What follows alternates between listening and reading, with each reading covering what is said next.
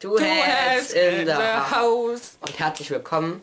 Und ähm, heute geht es um unser Challenge-Update. Und mehr dazu geht es nach dem Intro.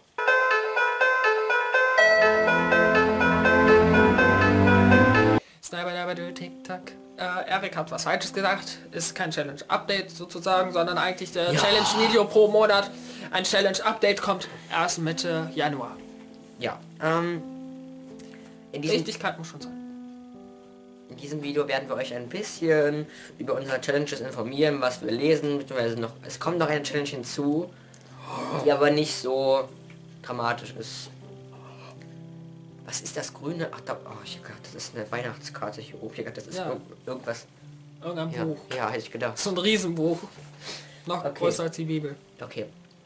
Fang du dann mal an mit äh, der Chucky Book Challenge. Nein. Oder? Unsere. Also wir haben ja eine Two Heads Challenge gemacht, äh, aus dem Grund, dass äh, da, zu dem Zeitpunkt, als wir die entworfen haben, noch nicht klar war, ob die Regenbogen Challenge äh, gemacht werden soll oder nicht. Hat sie es schlussendlich? Ja. Naja. Aber wir haben unsere eigene gemacht. Ähm, diesen Monat ist die Farbe Weiß dran. Und deswegen habe ich mir das Buch von Jennifer Estep Frostkuss ausgesucht. Wenn ihr in unserer Challenge teilnehmt, dann könnt ihr uns ja mal in die Kommentare schreiben, welches Buch ihr dafür auswählen wollt. Ähm, Sagt auch noch ein paar Daten dazu und äh, was da ist, Das da Buch ist von Jennifer Estep. Frostkuss mit der Akademie 1 kostet äh, 19, 14,99 Euro. Oh. Ist im Ivy Verlag erschienen und kostet äh, und hat eine Seitenzahl von 380, glaube ich. Und es hat einen riesen fetten Gacha. Da, da, da. Ja, worum geht's denn dann? Es geht um Gwen Frost, ähm, die, wenn sie einmal Menschen berührt, äh, die Erinnerungen von denen sieht und die Vergangenheit und alles, was er erlebt hat und gefühlt hat. Und ja, das ist so ein, ich glaube, es wird ein richtig geiles Buch. Aber ich hab's, ich, ich, Es ist aber ich, ein Achtteiler, oder? Nein, sechs. Sechs Teiler? Ich konnte mich nie aufwaffen, diese Reihe anzufangen, aber ich hoffe durch meine Challenge, ich muss ja die Challenge machen, wenn, wenn ich meine eigene Challenge nicht, erf Challenge nicht erfülle, wäre das ja ein bisschen komisch. Deswegen Frostkurs. Ja, dann mach du mal weiter, ich mache als letztes. Ähm, ich habe mir überlegt, dass ich ähm, ein Buch auf mehrere Challenges gelten lasse. Heißt, das hier gilt auch für die Farbe Weiß als äh, Joki Books Challenge. Weil ich glaube nicht... Äh, was war das nochmal? Dann weiße Schokolade, weiße Schokolade. oder? Weiße Schokolade, abgehakt. Bam. Wenn ich es noch, wenn ich schon gelesen habe. Ich muss mir halt irgendwann mal auf dem Computer erstellen, meine ganzen, meine ganzen äh, Challenges und dann kann ich immer abhaken. Ähm, denn ich glaube nicht, weil ich habe gerade irgendwie vier oder fünf Challenges, die ich mache. Und dafür dann für jede einzelne Aufgabe ein Buch zu lesen, das wären dann so viele Bücher, die ich gar nicht lesen würde. Deswegen mache ich es erstmal so. Falls ich äh, damit schon Mitte des, Monats, Mitte des Jahres fertig sein sollte, mache ich das nicht mehr so und äh, mache das nochmal neu. So. Du machst es nochmal neu? Okay. Nicht neu, sondern diese, die, die Achso, die doppelt. doppelt. Ja, die mache ja, okay, okay. Verstanden. Ding, ding. Dann ähm, zur Aufgabe, ich weiß gar nicht, wie die Aufgabe heißt, aber liest ein Einzelband. Habe ich mir. Snack oder so. Naschen. Kleiner Snack für zwischendurch. Ja. Oder Naschen? Nee. Ah nee, kleiner Snack war doch 200 Seiten, oder? Nein, das war ich Naschen. Einzelband dreh dich nicht um von Jennifer Armentrout. Ich weiß nicht, ob ich das als Einzelband werten soll oder als nervenaufreibendes, spannendes Buch. Das werde ich mir dann entscheiden, weil ich habe hier auch nervenaufreibende, spannende Bücher und ich habe nicht so viele ah. Einzelbände, deswegen werdet ihr ja im Challenge Update sehen, wie er sich dann entschieden hat. Ähm, so, hat noch etwas? Ähm, ach ja, ähm, ich habe eine Challenge vergessen. Und zwar, ich habe mich ja nicht angemeldet, aber ich versuche es zu schaffen. Und zwar die Serienkiller Challenge. Da muss man versuchen, in zwölf Monaten zwölf Reihen zu beenden. Das wird eigentlich bei mir ähm, ich weiß nicht, es wird im Mittel. Hat Silber noch ein drittes? Ja, Silber kommt ja diesen Monat, äh, diese, dieses Jahr raus, das wäre schon mal eins. Dann die Bestimmung möchte ich zu Ende lesen und äh, was gibt's denn noch? ja. Da fängt schon an. Dark ja. Village, gelöscht Trilogie, ähm, Alice im Zombieland und die Rückkehr ins Zombieland und Touch ah, nee, vielleicht und die Überlebenden, wo man nicht der Touch. die Ich fürchte mich nicht und und so weiter und so fort. Ich, Nach dem ist, Sommer. äh, ich fürchte mich nicht eine Dialogie. Nein, Trilogie. Hat, ist das dritte Buch schon draußen, Ja beziehungsweise klar. wird. Okay, dann. ah, Dann geht ja noch nach dem Sommer und Nach dem Sommer vielleicht ist da oben ist. Also- Zwei! Ist doch egal. Ah! Ähm, es wird auf jeden Fall Notfalls macht er sich dann noch so eine Dialogie. Und vielleicht ähm, die äh, Lux-Reihe, wenn ich auf Englisch weiter lese, dann die auch. Oh Gott. Einfach alle durch. Dieses Jahr. YOLO, nein. YOLO. Äh, okay, ähm, mach du weiter. Jo, also meine Challenge äh, war ja, dass ich euch vier Bücher zeige und ihr mir vorschlagen könnt, wel- nee, nicht vorschlagen, sondern vorschreiben sogar, äh, welches Buch ich lesen soll. Das wird dann so funktionieren, ihr könnt es unter One to Read oder hier machen und ich, jeder hat eine Stimme, so sehr demokratisch alles und das Buch, was am meisten Stimmen hat, werde ich dann lesen müssen. Das äh, geht, sage ich mal, bis bis zum Challenge-Update Mitte des Monats äh, ist das dann festgelegt, welches Buch ich dann lese und werde es dann auch lesen.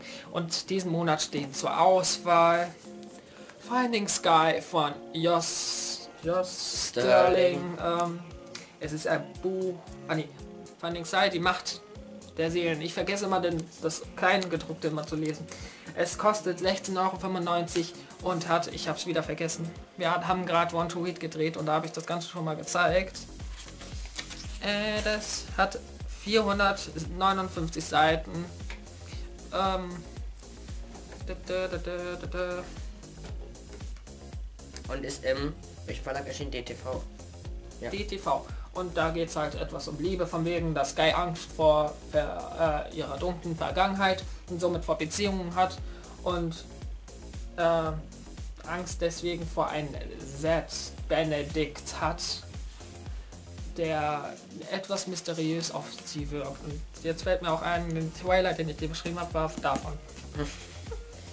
äh, Davon gibt es nämlich auch einen Buchtrailer, könnt ihr euch ja ansehen. Vielleicht gefällt euch das Buch euch ja. Das ist eine Trilogie. Das nächste Buch ist auch ein sehr schönes Einzelband, vermute ich ein Einzelband. Und zwar Panic von Lauren Oliver, die auch die Armor-Trilogie geschrieben hat. Wer Angst hat, fliegt raus. Nee, ist raus sogar. Äh, ist vom Carlsen Verlag und hat 17,99 Euro gekostet. Die Seitenanzahl steht hier, weil das Buch ist noch eingeschweißt. Die dritte Auswahl ist äh, Silber von Kerstin Gier. Ich mach mal hier so, weil ein, ein demokratischer Staat, eine demokratische Abstimmung soll ja ohne Beeinflussung bestimmen, äh, geschehen. Und wenn jemand jemanden beeinflusst, dann wird der Beeinflusser in Gefängnis eingesperrt. Und so passiert es auch bei uns. Er wird jetzt gleich in Gefängnis Ja, hereingesteckt. Das hier ist das erste Buch der Träume und kostet 18,99 Euro. Und ich sehe das, Erik, im Augenwinkel. Hat 397 Seiten. Es geht um Träume. Das erste Buch der Träume. Äh, dass jemand bei in Träumen eindringt. Ich glaube, du brauchst gar nicht jetzt jemand schon alle gelesen haben. Hey! ja gut. Und das letzte Buch. Ein Buch mit sehr vielen Markierungen. Dank lieber Erik. Ich sag's jedes Video wieder, auch in der, Rez nee, in der Rezension gar nicht, weil die ist ja schon draußen. Ich fürchte mich nicht von Tahir Meine darf ich nicht etwas reden? Ich fürchte mich nicht von Tahir Mafi. Ein Roman oder eine Dystopie vom Goldmann Verlag. Es kostet 9,99 Euro, ist ein Taschenbuch. Und hat Leseprobenseiten. nee, ähm, hat 316 Seiten, hey. So. Es kann auch sein, dass ich nicht nur dieses zwingend notwendige Buch lese, sondern auch weitere Bücher im gleichen Monat lese. Das ist ja dann in meiner Hand, ob ich das mache oder nicht. Hauptsache ich habe das eine Buch Falls kein Kommentar kommen sollte, stelle ich ihm drei Aufgaben, glaube ich, ne? Ne, das waren so, ja, drei, waren das nochmal. Drei Aufgaben. Ne, äh, äh, nochmal von null, null Punkt. Erik stellt mir dann zu Anfang jeden Monats drei unterschiedliche Aufgaben oder alle so von wegen, lies ein gelbes Buch, lies einem eine Subleiche oder lies ein Subleiche oder lies ein Buch, was du schon immer lesen wolltest.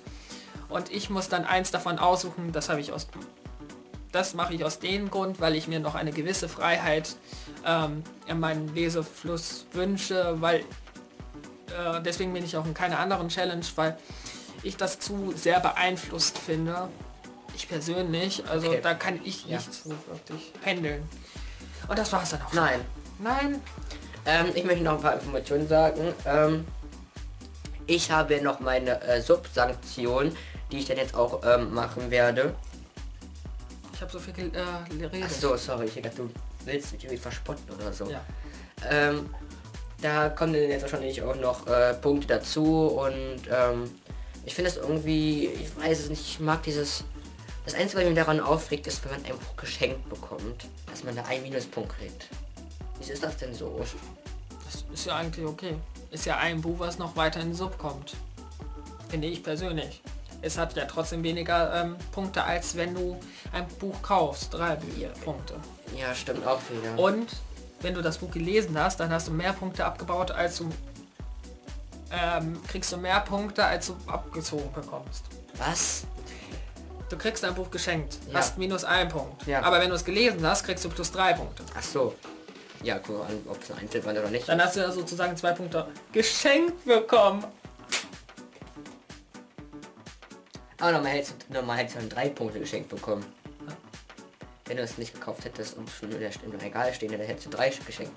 Drei Punkte geschenkt bekommen. Egal. Wenn du ein Egal. Ui. So, ähm, noch etwas? Ähm, nein. Das Alter Schwede, ist es ne? schon dunkel, was? Nee, das wollte ich nicht erwähnen, ne? Egal. Ähm, das war diesem Video. Ich glaube nicht, dass ihr es gehört habt. Das war's auch schon mit an diesem Video. Und das Challenge Update wird dann Mitte des Monats folgen. Ich sag mal so 15.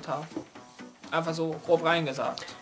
Bis dahin ist man noch ein bisschen Zeit und bis dahin habt Spaß mit dem, was ihr tun wollt und machen wollt und have fun. Ja, das war's auch eigentlich schon mit diesem Video. Und vergesst nicht, liken, teilen, favorisieren, abonnieren und kolorieren. Viel Spaß!